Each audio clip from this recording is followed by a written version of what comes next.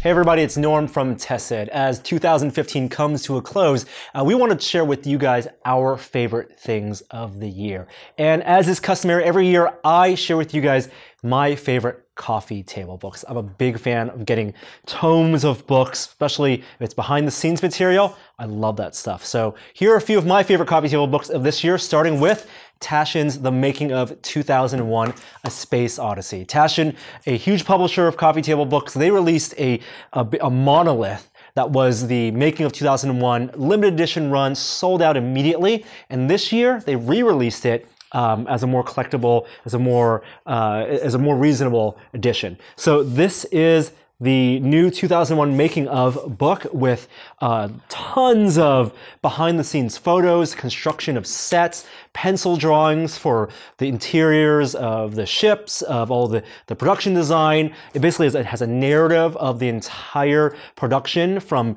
uh, pre-production to post-production you have these incredible foldouts actually it's an awkward form factor a little bit like like a monolith but you can actually fold out pages Ooh, if I can fold this out, um, to show incredible paintings uh, and artwork from the book.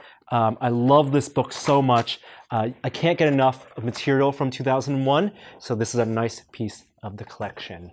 Uh, two more behind the scenes books came out this year. One for Back to the Future, 30th anniversary, obviously. This is uh, what they call a ultimate visual history. And both this and this Ghostbusters book are visual histories. So they tell the story of the movie's production, but use a lot of behind the scenes photographs and uh, visual material. So you have storyboards, you have drawings, and you even have what's cool for a physical book are like reprints of artifacts. So, for example, in Back to the Future, here's uh, an envelope from the Do Not Open until 1985 that Marty McFly leaves with Doc Brown.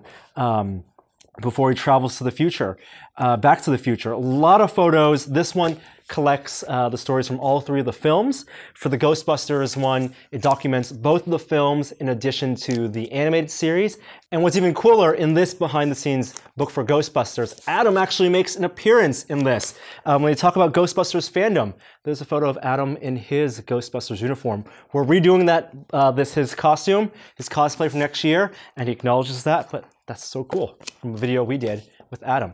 Um, last year, one of my favorite coffee table books was Star Wars Costumes. Uh, Brandon Alinger from Prop Store wrote that, went to the Lucasfilm archives, took incredible photos of those Star Wars costumes. This year's, we have Star Trek costumes, and it documents mostly from the original series and the movies based on the original cast members, but all the amazing costumes we see in Star Trek, which are really a reflection of the era it's the eras in which those shows were produced from the late 70s, the 80s, the movies in the 80s, Next Generation, in the 90s, and even a little bit of uh, Deep Space Nine and Voyager. Uh, lots of great reference material and great anecdotes from the costume designers. Uh, if you're a cosplayer, you have, for example, one of my favorites, the Borg design from First Contact. If you didn't know, there actually were only a handful of Borg actors. They reused, I think, seven, and they reused them uh, throughout the entire movie. Love stuff like this. And then finally, uh, one book that I got from my coffee table that isn't a behind the scenes book, but it's actually a graphic novel. It is Sandman Overture by Neil Gaiman. Uh, this has been about two years in the making. It was supposed to be a bi-monthly series, but it's a prequel to Neil Gaiman's 75 issue Sandman run uh, back in the 80s and 90s, and it is a prequel. Uh, amazing art by J.H. Williams, and it tells the story of Dream of the Endless, Morpheus, and Daniel, and how Dream got to where he was at the beginning of the Sandman series. Can't recommend this enough if you're looking for a new comic book to purchase. So those are my favorite coffee table books of this year. We'll have more of our favorite things on Tested. So subscribe to our YouTube channel and keep up with us on tested.com. But until then, I'm Norm, and we'll see you next time. Bye.